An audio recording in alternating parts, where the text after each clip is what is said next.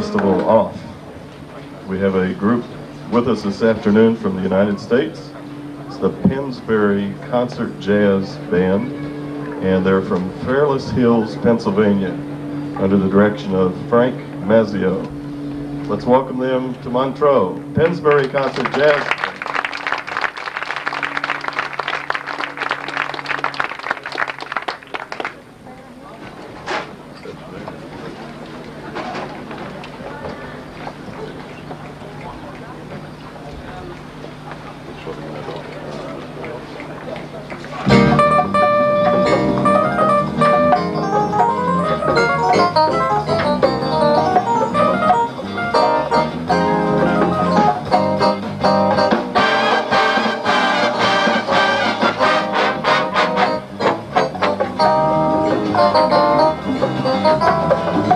Thank you.